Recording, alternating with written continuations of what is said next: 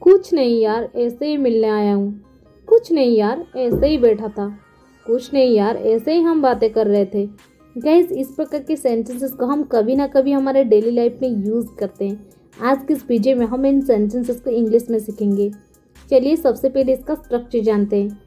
Structure सीखने से पहले मैं आपको बता दूँ, कुछ नहीं यार।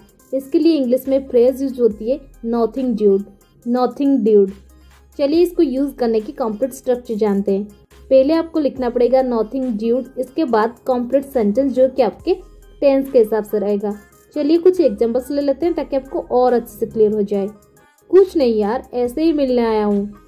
Nothing dude I have come to meet you just like this nothing dude I have come to meet you just like this कुछ नहीं यार, ऐसे ही बैठा था।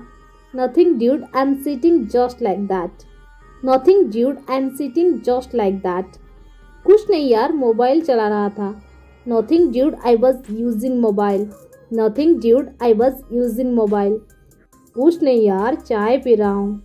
Nothing dude I am taking tea nothing dude I am taking tea कुछ नहीं यार, ऐसे ही हम बातें कर रहे हैं। Nothing dude we are talking like that nothing dude we are talking like that